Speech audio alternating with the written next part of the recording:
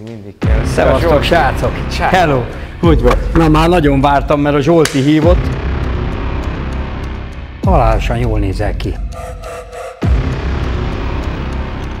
Dinamikáján lehet változtatni, hogy legyen egy kicsit ilyen meglepődés benned.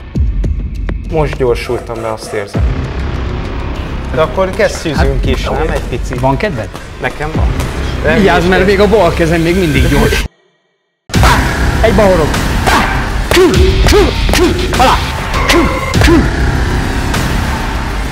És, és, és.